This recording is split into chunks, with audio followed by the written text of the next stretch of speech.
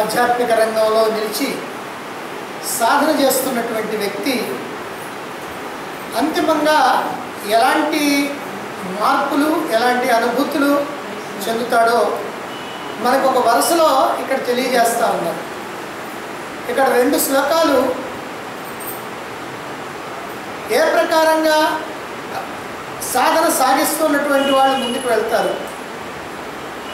సాధన చేయకపోతే ఏ ప్రకారంగా ఎంతవరకు చేసినటువంటిది నిష్ఫలం అవుతుంది అని రెండు శ్లోకాలు చెప్తా ఉన్నారు. ఈ రెండు కూడా జాగ్రత్తగానే మనం అర్థం చేసుకోవాల్సినటువంటివి.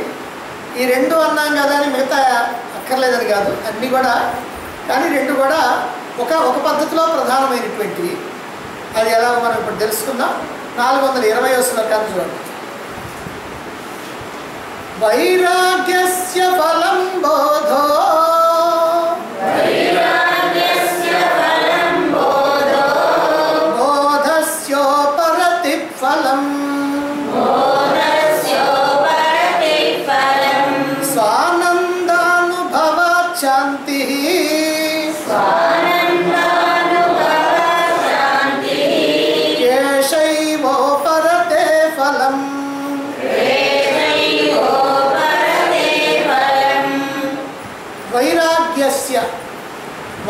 ఆత్మజ్ఞానికి బోధ ఫలం. ఆత్మజ్ఞానం కలగటమే ఫలం. అంటే వైరాగ్యం సాధిస్తే ఆత్మజ్ఞానం కలగటమే దాని ఫలితం. బోధస్య ఆత్మజ్ఞానం కలిగితే ఫలం ఉపరతి.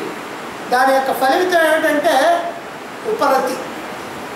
ఉపరతి అంటే ఇంద్రియాలు విషయ సుఖాలని కోరకుండా విషయ సుఖాలు ఎదురుగా ఉన్నా ఇంద్రియాలు వాటి వైపు పోకుండా ఉండటాన్ని ఉపరతి అని అంటారు ఇక ఉపరతే ఫలం ఈ ఉపరతి వల్ల ఫలితం ఏమిటి అంటే స్వానందానుభవాత్.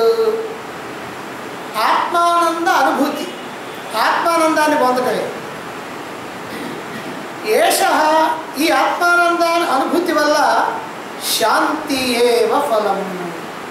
పరమశాంతియే అంతిమ ఫలం ఇది ఒక స్టెప్ మెట్టు మెట్టు మెట్టు మెట్టు చెప్పారు.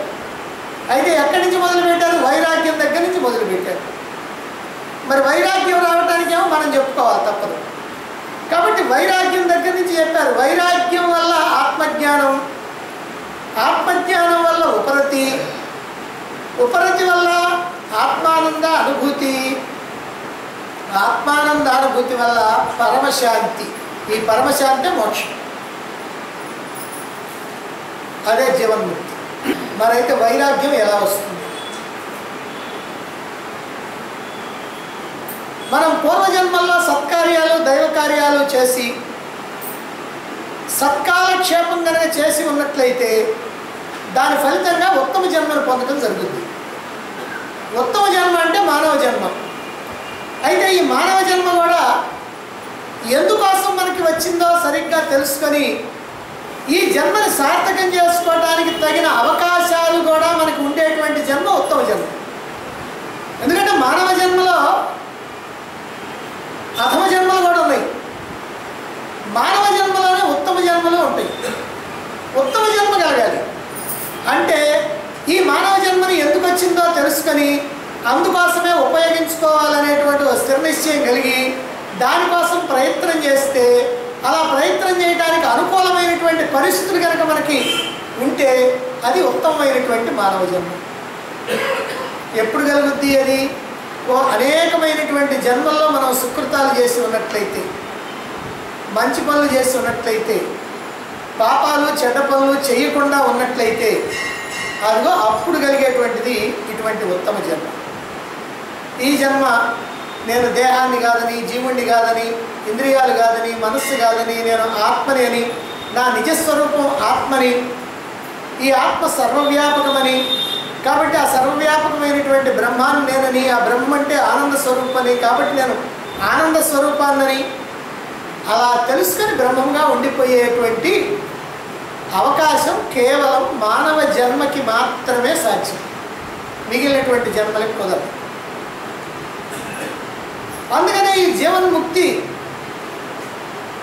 ఎలాంటి జీవన్ముక్తి అని అంటే ఏమిటి అనే విషయాన్ని శంకరాచార్యుల వారే నిర్వచనం చెప్పారు. బ్రహ్మైవాహమస్మి ఇది అపరోక్ష జ్ఞానేన నిఖిల కర్మబంధ వినిర్ముక్త జీవన్ముక్త నేను బ్రహ్మాన్ని అనేటువంటి అపరోక్ష జ్ఞానం చేత అంటే అనుభవ జ్ఞానం చేత నేను బ్రహ్మాన్ని అనేటువంటి అనుభవ జ్ఞానం చేత అన్ని కర్మబంధనాల నుంచి కూడా విడుదల పొందినటువంటి వాడే జీవన్ముక్తుడు ఇందులో ముఖ్య విషయం ఏమిటంటే అన్ని కర్మబంధనాల నుంచి విముక్తి చెందటం. అలా చెందాలి అని అంటే నేను బ్రహ్మాన్ని అనేటువంటి జ్ఞానం కలగటం. ఆ జ్ఞానం కూడా అనుభవ జ్ఞానం కావటం. అయితే ఇటువంటి స్థితికి సాధకుడు రావాలి.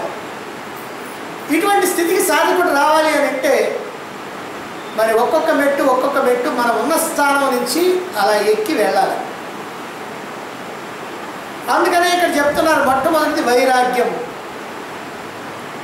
ఎలా వస్తుంది? ముందుగా మనం చెప్పుకున్నట్లుగా పూర్వజన్మ సుకృతం కనుక ఉంటే మానవ జన్మ లభిస్తుంది. పూర్వజన్మ సుకృతం లేనటువంటి వాళ్ళకి మానవ జన్మ రాదు రాదు రాదు. ఇక పూర్వ జన్మలో ఒక జన్మలో రెండు జన్మల్లో కాకుండా చాలా జన్మల్లో సుకృతం చేసుకొని ఒక్కొక్క జన్మలో ఒక్కొక్క జన్మలో కాస్త ముందుకు వస్తూ గనక ఉన్నట్లయితే ఆ జన్మల్లో సత్కార్యాలు కనుక చేసినట్లయితే సాధ్యమయ్యి కూడా మానుకోకుండా సత్కార్యాలు కనుక చేసినట్లయితే ఈ మానవ జన్మ రావటమే కాకుండా మోక్షాపేక్ష కూడా కలుగుతుంది. ఆ మోక్షానికి దారి చూపించేటువంటి సద్గురువు కూడా లభిస్తాడు. అయితే ఈ మూడు మానవ జన్మ మోక్షాపేక్ష సద్గురువు మార్గాన్ని చూపించేటువంటి సద్గురువు. ఈ మూడు కూడా లభించినప్పటికీ కూడా సక్రమంగా వినియోగించుకోకపోతే వాడు మూఢుడు అని శంకరాచార్య వారే చెప్పారు. కనుక తగిన ప్రయత్నం చేస్తేనే ఈ మూడు లభించినటువంటి యొక్క ఫలితం మనకి దక్కుద్ది. ఈ మూడు ఉన్నప్పుడు వీటిని మనం ప్రయత్నం చేసినప్పుడు అంటే మనకి లభించినటువంటి గురువు ద్వారా మోక్షాన్ని పొందడానికి మనం ప్రయత్నం చేసినప్పుడు తప్పకుండా ఈ జన్మలోనే మోక్షాన్ని పొందడం జరుగుతుంది. అలా ప్రయత్నం చేయనటువంటి వాడు మధ్యలోనే జారిపోతాడు. అన్నీ ఉన్నాయి కానీ జారిపోతాడు. మానవ జన్మ వచ్చింది మోక్షాపేక్ష కలిగింది. అందుకోసం గురువుని ఆశ్రయించావు. ఆ గురువు ద్వారా శాస్త్ర శ్రవణం చేస్తున్నావు. ఏదో కారణం చేత జారిపోయావు. ఎందుకు? అని అంటే ప్రయత్న లోపం అన్నమాట. కాబట్టి ఈ ప్రయత్నం లోపం లేకుండా మనం ప్రారంభించాలి. ఒక్కొక్క మెట్టు ముందుకు వెళ్ళాలి. ఎలా మోక్షాన్ని చేరుకోవాలి అంటే ముందుగా సద్గురువుని చేరి శాస్త్రశ్రవణం చేయాలి. శాస్త్రశ్రవణం చేయకపోతే మోక్షం కావాలనేటువంటి ఆలోచన కూడా రాదు. మోక్షం అంటే ఏమిటో తెలియాలన్నా శాస్త్రాన్ని తెలుసుకోవాలి. మోక్షాన్ని పొందాలంటే మార్గం ఏమిటన్నా శాస్త్రాన్ని తెలుసుకోవాలి.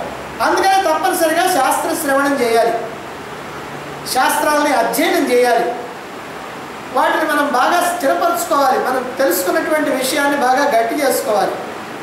వేదాంత శాస్త్రం యొక్క లోతుల్ని తెలుసుకుంటే తప్ప ఈ ప్రపంచం కేవలం విద్య అనేటువంటి విషయం మనకి తెలియదు అందుకని ఈ ప్రపంచం సత్యం అనుకుంటాం ప్రపంచ విషయాల్లో మునిగిపోతాం వాటిని సంపాదించుకోవటమే గొప్ప అనుకుంటాం వాటిట్లోనే మనం మునగానం తేలానంగా ఉంటాం.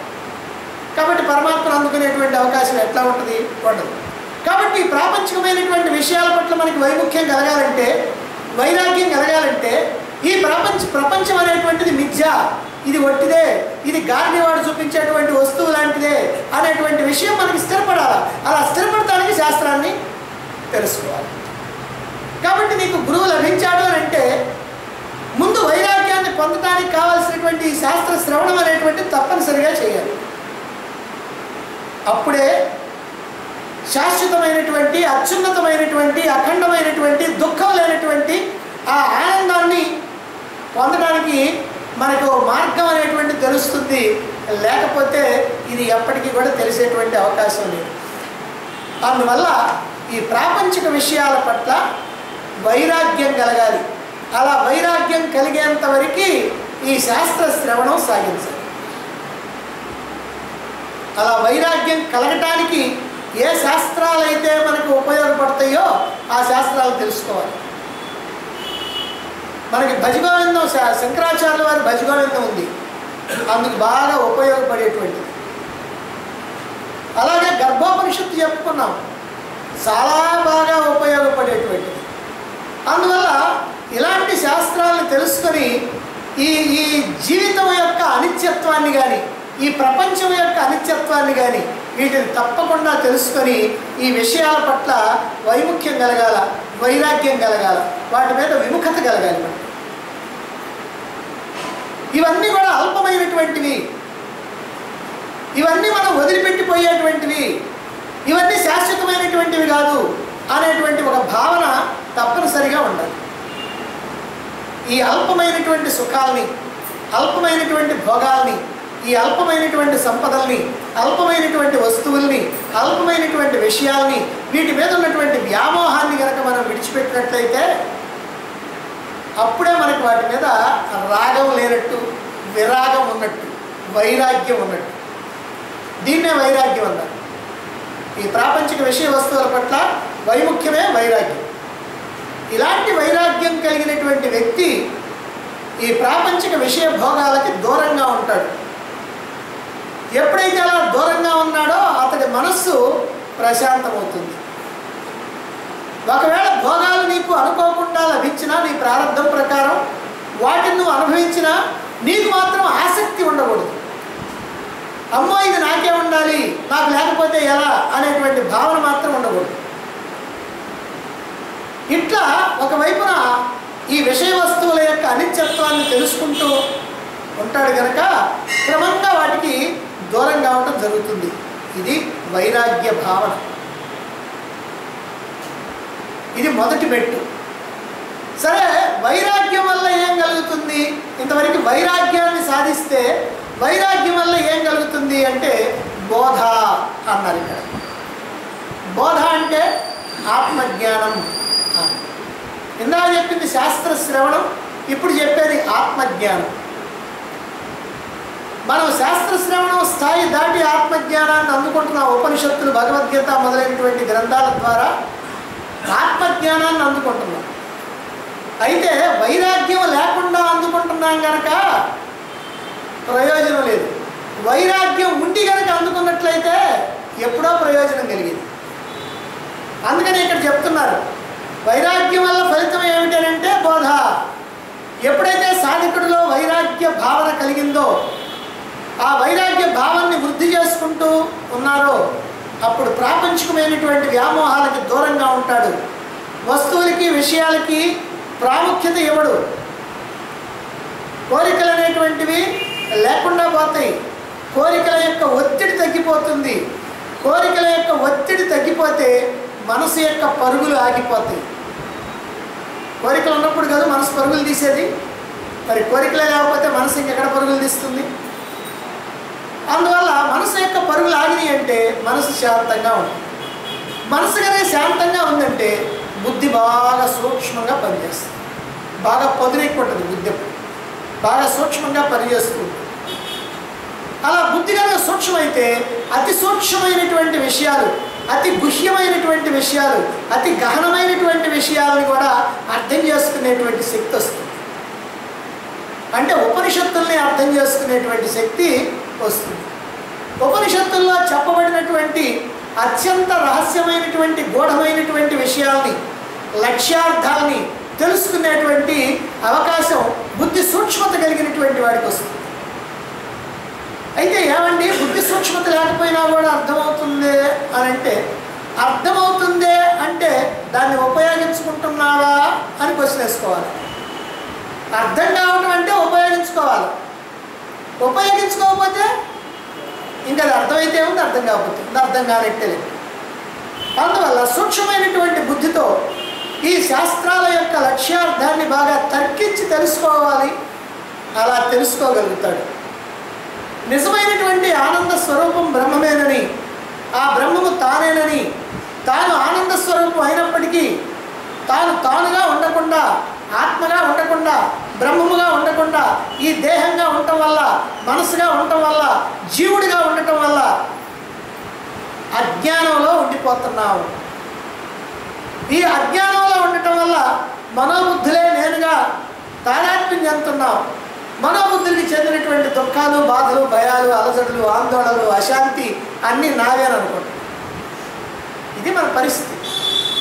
ప్రతిరోజు ఉదయం నిద్ర లేచిన దగ్గర నుంచి మనసుకి ఎన్నో రకాలైనటువంటి వ్యవహారాలు ఎన్నో ఆలోచనలు ఎన్నో ఆందోళనలు ఎన్నో అంతో అశాంతి. కాబట్టి ఇదంతా కూడా దీనికి కారణంగా ఏమవుతుందంటే మనం స్వస్థితికి దూరం అయిపోతాం ఈ ఆలోచనల వల్ల ఈ ఆందోళనల వల్ల మన స్వస్థితికి మనం దూరం అయిపోతాం అలా స్వస్థితికి దూరం కాకుండా స్వస్థితిలో ఉండటానికి మనకి అన్ని అవకాశాలు కుదిరినటువంటి స్థితి ఏదైతే ఉందో దాన్ని ఆత్మజ్ఞానం అని ఇక్కడ అన్నారు. అంటే వైరాగ్యం వల్ల ఆత్మజ్ఞానం. ఆత్మజ్ఞానం అంటే నేను ఆత్మను అనేటువంటి జ్ఞానం నేను బ్రహ్మాన్ని అనేటువంటి జ్ఞానం. నేను బ్రహ్మాన్ని అనేటువంటి స్థిరనిశ్చయం నీకు కలగాలి అని అంటే వైరాగ్యం ఉండాలి. కాబట్టి వైరాగ్యం ఉండాలి. వైరాగ్యం వల్ల ఈ నేను ఆత్మను బ్రహ్మాన్ని అనేటువంటి జ్ఞానం కూడా కలగదు. సరే ఈ ఆత్మజ్ఞానం వల్ల ఏమిటి ఫలితం? మూడో పెట్టి. ఆత్మజ్ఞానం వల్ల ఉపరతి అంటారు. ఎవరైతే ఆత్మజ్ఞానాన్ని పొంది నేను ఆత్మను అని తెలుసుకొని నేను జీవుణ్ణి కాదు అని తెలుసుకొని నేను బ్రహ్మాన్ని అని గ్రహించి ఆ బ్రహ్మముగా ఆత్మగా కేవలంగా అలా ఉండిపోతాడో అదిగో అటువంటి వాడు నిరంతరము కూడా ఈ శరీర మనోబుద్ధుల్ని కానీ వాటి యొక్క వృత్తుల్ని కానీ కేవల సాక్షిగా గమనిస్తూ ఉంటాను నేను దేహంగా ఉంటేనేమో దేహం చేసే పనుల్లో కలిసిపోతాను నేను ఆత్మగా ఉంటేనేమో దేహం ఏం చేస్తున్నదో గమనిస్తుంది కాబట్టి ఈ దేహం చేసే పనుల్ని మనసు చేసేటువంటి ఆలోచనల్ని మనం కనుక అలా సాక్షిగా కేవల సాక్షిగా అట్లా గమనిస్తూ ఉంటే మనం ఆత్మ. అవునండి కొద్దిసేపు చూద్దాం అలా గమనిద్దాం అని అనుకొని గమనించారనుకోండి ఆ గమనించేటప్పుడు ఏమవుతుందంటే కేవల సాక్షిగా ఉండరు. "ఆ, ఇది గమనిస్తున్నాం అనేటువంటి భావన ఉంటుంది. అందుకని ఆత్మగా ఉండలేకపోతాం కాబట్టి ఆత్మగా ఉండడం అంటే కేవలం ఊరకే అలాగే.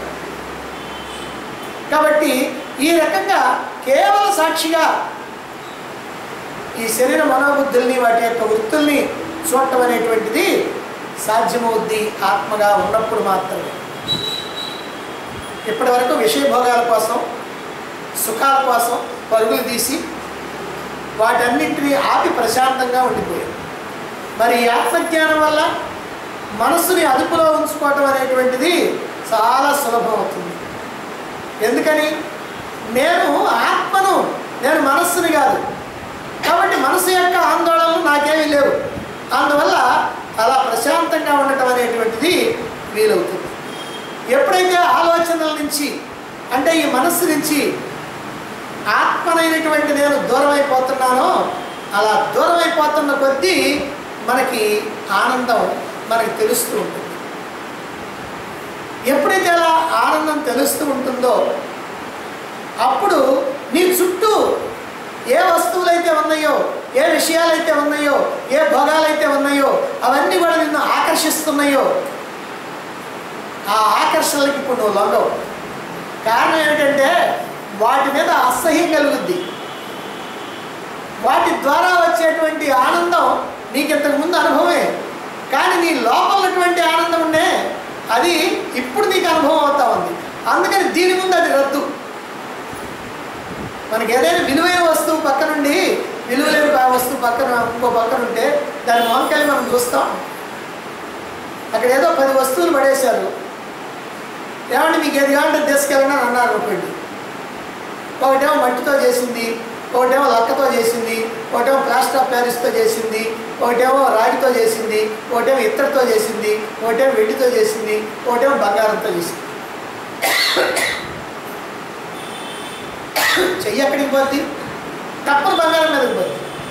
అసలు మిగిలిన ఏమున్నాయో అని మనం చూడాల్సిన పనిలే ఎందుకంటే ఎందుకంటే మనకి మనం ఒకటే తీసుకెళ్ళాల్సింది ఒకటి తీసుకెళ్ళి అదే ప్రకారంగా అనంతమైనటువంటి ఆనందం అఖండమైనటువంటి ఆనందం నీలో ఉంటే ఈ అల్పమైనటువంటి సుఖాలను ఇచ్చేటువంటి వస్తువుల కోసం ఎవడు ప్రోకులాడతాడు కనుక ఇలా ఎదురుగా వస్తువులు ఉన్నప్పటికీ ప్రాకులాడకుండా ఉండేటువంటి మనస్సు ఏదైతే ఉందో అది ఉపరతిలో ఉంది అని అంటాం. అందువల్ల ఆత్మజ్ఞానం వల్ల నేను ఆత్మననేటువంటి భావన వల్ల నువ్వు ఉపరతిలో ఉంటావు. సరే ఉపరతి వల్ల ఏమిటండి ప్రయోజనం? మరి నాలుగో పెట్టు. ఏషా ఉపరతే ఫలం స్వానందానుభవాత్ శాంతి ఏవా? ఈ ఉపరతి వల్ల నీకు ఏం కలుగుతుందంటే స్వానందానుభూత్. ఇప్పుడు ఆత్మానందం అసలైనటువంటి ఆనందం. అప్పుడు కలిగేది శాంతి. కాబట్టి ఈ ఆత్మానందం ఈ ఆత్మానందం వల్ల పరమశాంతి నీకు లభిస్తుంది. చుట్టూ ఎన్ని వస్తువులున్నా ఎన్ని విషయాలున్నా ఎన్ని భోగాలున్నా ఏ రకమైనటువంటి ప్రలోభాలు ఉన్నా సరే మనస్సు అటువైపు పోకుండా ఉపరతిలో ఎవరైతే ఉంటారో వాటి మీదకి మనసు పోకుండా ఉంటుందో ఎవరికైతే అటువంటి వాళ్ళ యొక్క మనస్సులో ఏ కదలికలు ఉండవు. సూచన మాత్రంగా కూడా ఏమి కూడా వాటి వైపు చూడరు ఇందా చెప్పుకున్నట్లు. అస్సలు వాటి వైపు చూడాల్సినటువంటి అవసరమే లేదు. అందువల్ల మనకి పూర్తి ప్రశాంతం.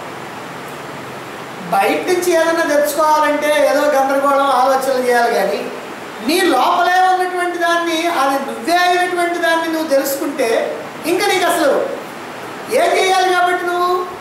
దేనికోసం కృషి చేయాలి? ఏం తెలుసుకోవాలి? ఏం పొందాలి? ఎక్కడికి పోవాలి? ఏమక్కర్లేదు అక్కర్లేదు. హాయిగా నీ లోపలనే ఆనందం. ఇదే నిజమైనటువంటి అవధూతలు పొందుతూ ఉంటారు.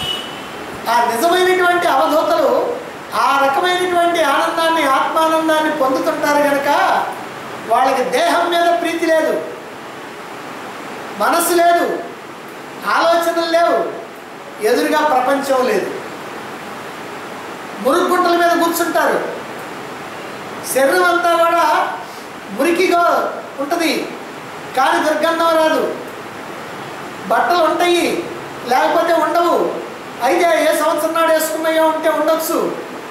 కానీ ఏమైనా తింటాడా? ఏం తింటాడో తెలియదు ఎంత తింటాడో తెలియదు తినకుండా ఉంటాడో తెలియదు నాలుగు రోజులు లేకుండా ఉన్నా ఉంటాడు.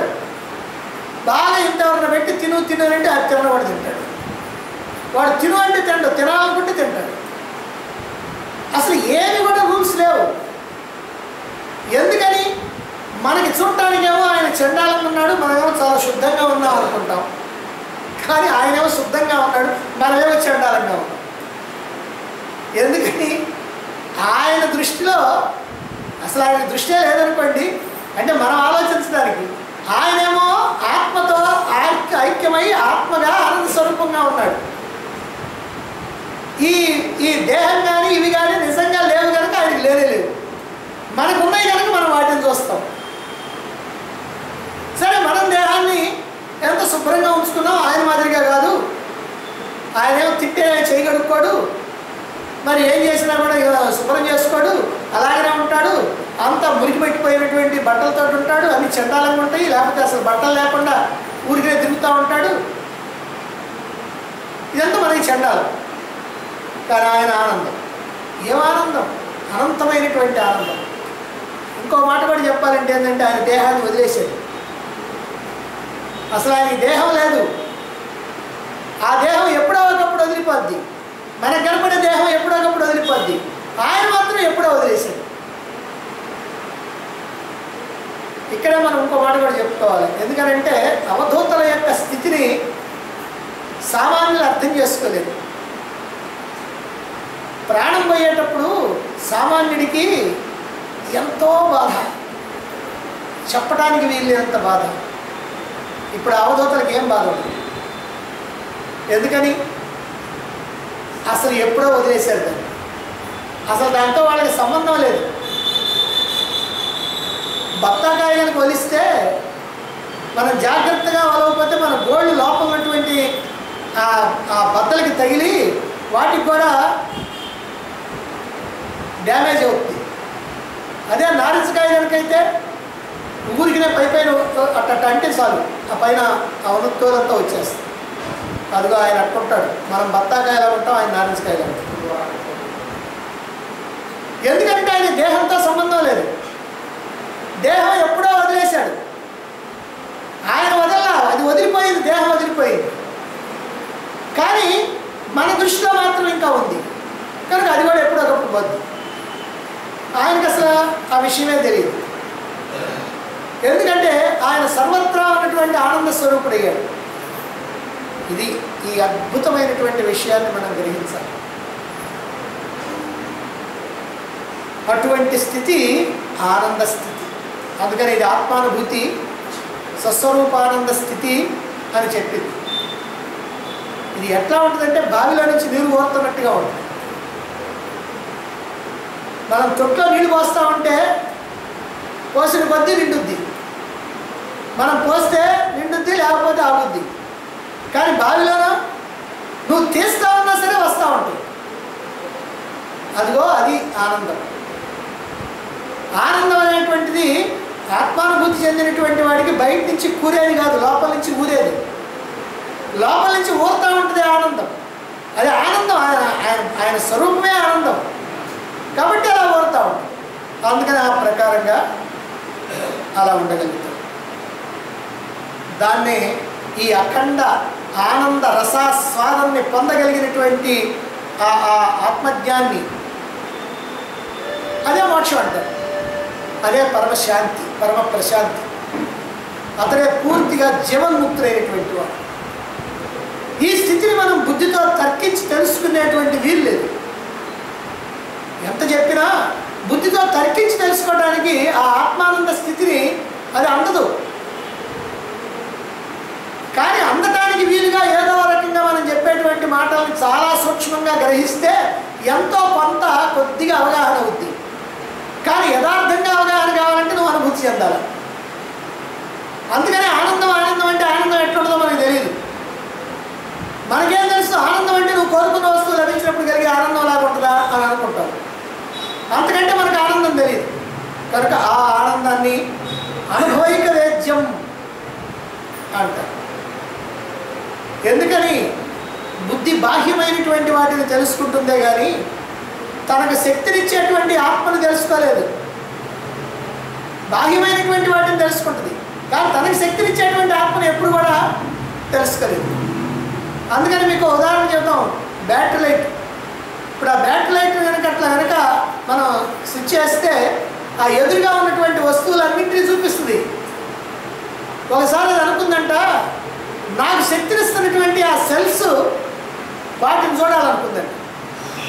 మనతో చెప్పింది అయ్యా అయ్యా నేను నాకు శక్తినిచ్చి ఆ సెల్స్ని చూడాలని. సరే మనం ఆ సెల్స్ తీసి బయట పెట్టి "ఆ, చూడు చూడు అన్నాం ఇప్పుడు మనం నొక్కాం. ఏం చేస్తుంది? చూడగలుగుతా చూడలేదు. ఎట్లా అయితే బ్యాటరీ లైట్ తన యొక్క శక్తినిచ్చేటువంటి సెల్స్ చూడలేదో మనం కూడా మనకి ఆ చైతన్యాన్ని ప్రసాదించేటువంటి ఆత్మని మనం కూడా ఎప్పటికీ తెలుసుకోలేమో చూడలేదు మరి ఎట్లండి తెలుసుకోకపోతే నువ్వు అనుభవించాల్సిందే నువ్వు అనుభూతి చెందాల్సిందే. నువ్వు అదిగా ఉండాల్సిందే అది అయిపోవాల్సిందే నువ్వు ఆత్మ అయిపోవాలి? ఇక అంతకంటే రెండో మార్గం లేదు. కాబట్టి ఆత్మానందం అనేటువంటిది బుద్ధికి అతీతమైనటువంటిది. అది స్వానుభవం వల్ల మాత్రమే తెలుస్తుంది. అందుకనే ఇక్కడ స్వానందానుభవాత్ అన్నారు. అందువల్ల మనం ఇక్కడ తెలుసుకోవాల్సింది ఏమిటంటే పూర్వజన్మ సుకృతం ఉండాలి మానవ జన్మ రావాలి.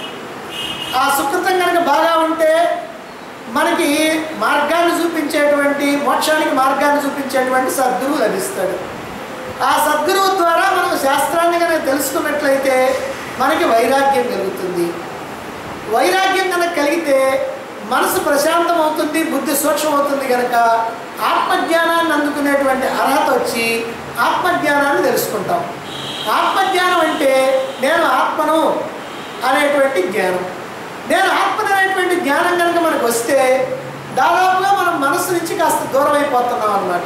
అలా దూరం అయిపోయినప్పుడు మనకి లోపల ఒక రకమైనటువంటి ఆనందం కలుగుద్ది. ఈ ఆనందం కారణంగా బాహ్యంగా ఉన్నటువంటి వస్తువుల మీద వ్యామోహం తగ్గుద్ది. ఆ బయట ఉన్నటువంటి వస్తువుల మీద వ్యామోహం ఎప్పుడైతే తగ్గిందో ఆ వస్తువులు ఉన్నప్పటికీ కూడా వాటిని కావాలని కోరుకో అది ఉపరతి. కాబట్టి శాస్త్రజ్ఞానం వైరాగ్యం ఆత్మజ్ఞానం ఉపరతి. ఈ ఉపరతి వల్ల అంటే దేన్ని కోరుకోకపోవడం వల్ల మనసు ఎప్పుడు కూడా ఆత్మతోటే అనుసంధానం అయి ఉండటం వల్ల ఆ ఆత్మానంద అనుభూతి అనేటువంటిది నీకు తెలుస్తుంది. ఆ అనుభూతి ఎప్పుడైతే తెలిసిందో ఆ అనుభూతిని నిజంగా నువ్వు ఎప్పుడైతే పొందావో అప్పుడు పరమ ప్రశాంతం. అది మోక్షం అది జీవన్ముక్తి. కాబట్టి జీవన్ముక్తిని పొందాలనుకున్నటువంటి వాడు ఈ వరుసలో మెట్లెక్కాల్సినటువంటి అవసరం ఉంటుంది. మానవ జన్మ రావాలి అనేది ఇది మన సాధన కాదు అయిపోయింది. ఒక వచ్చింది తను మానవ జన్మ వచ్చింది. ఇక మనం చేయాల్సింది ఏమిటంటే వైరాగ్యాన్ని పొందడానికి శాస్త్రజ్ఞానం తెలుసుకోవాలి. ఆత్మానుభూతిని పొందడానికి ఆత్మజ్ఞానాన్ని పొందడానికి వైరాగ్యం కావాలి. ఉపరతిని చెందటం కోసం ఆత్మజ్ఞానం కావాలి. ఆనందానుభూతిని చేయడం కోసమని ఉపరతి కావాలి. పరమ ప్రశాంతత జీవన్ముక్తి కలగాలంటే ఇదిగో ఈ ఈ స్వానుభవం అనేటువంటిది స్వాత్మానంద అనుభూతి అనేటువంటిది కావాలి. ఈ ప్రకారంగా మనకు వరుసన సాధనలో మెట్లు చెప్పారు. అయితే ఈ సాధనలో మనం ఒక్కొక్క మెట్టు ఎక్కకపోతే ఏమవుతుంది? ఇది ఒక అద్భుతమైనటువంటి శ్లోకం. ఈ రకమైనటువంటి శ్లోకం ఎప్పుడింతవరకు రాలేదు. ఇది ఒక అద్భుత శ్లోకం. అంటే సాధనలో మనం ఒక్కొక్క మెట్టు ఒక్కొక్క మెట్టు చెప్పుకున్నాం కదా ఇప్పుడు ఆ పై మెట్టు ఎక్కకపోతే ఏమవుద్ది? ఎక్కడ ఉంటాం? అనేటువంటి దాన్ని తర్వాత శ్లోకాలు చెప్తున్నారు. దాన్ని మనం రుచి